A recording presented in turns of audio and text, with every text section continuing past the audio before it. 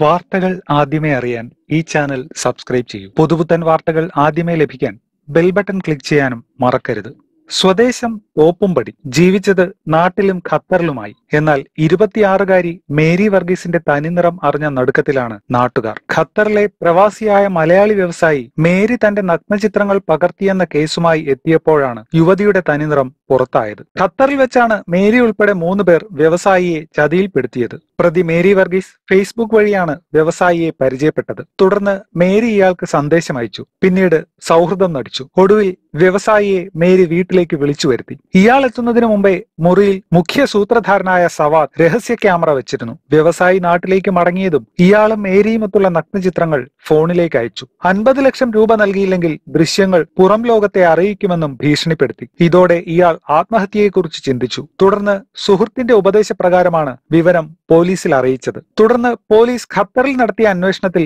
പ്രതികൾ എടുത്തിരുന്ന മുറിയെക്കുറിച്ചും വാടകയ്ക്കെടുത്തയാളെക്കുറിച്ചും വിവരം ലഭിച്ചു. കുറച്ചു പണം സവാദിന്റെ അക്കൗണ്ടിലേക്ക് വ്യവസായി അയച്ചു കൊടുത്തിരുന്നു. ഈ പണം കണ്ണൂർ തളിപ്പറമ്പിലെ എ ടി എം കൗണ്ടറിൽ നിന്നാണ് പിൻവലിച്ചതെന്ന് കണ്ടെത്തി. ഈ ഭാഗത്ത് നടത്തിയ അന്വേഷണത്തിലാണ് പ്രതികളെക്കുറിച്ച് വിവരങ്ങൾ ലഭിച്ചത്. തളിപ്പറമ്പിൽ നിന്ന് ബംഗളൂരുവിലേക്ക് പോയ പ്രതികൾക്ക് പിന്നാലെ പോലീസ് സംഘം തിരിക്കുകയും മടിക്കേരിയിൽ വെച്ച് അറസ്റ്റ് ചെയ്യുകയുമായിരുന്നു. ചോദ്യം ചെയ്യലിൽ നിരവധി മലയാളികൾ പ്രതികളുടെ വലയിൽ വീണതായി വിവരം കിട്ടിയിട്ടുണ്ട്. പയ്യന്നൂർ കുട്ടൂർ വെള്ളക്കടവ് മുണ്ടയോട്ട് വീട്ടിൽ ഇരുപത്തിയഞ്ചു വയസ്സുകാരനായ സവാദാണ് മുഖ്യപ്രതി. മേരിക്കൊപ്പം കണ്ണൂർ തളിപ്പറമ്പ് പരിയാരം മെഡിക്കൽ കോളേജിന് സമീപം പുൽക്കൂൽ വീട്ടിൽ ഇരുപത്തിയഞ്ചുകാരനായ അസ്കർ കണ്ണൂർ കടന്നപ്പള്ളി ആലക്കാട് കുട്ടോത്ത് വളപ്പിൽ ഇരുപത്തിയേഴുകാരനായ മുഹമ്മദ് ഷഫീഖ് എന്നിവരും പിടിയിലായി.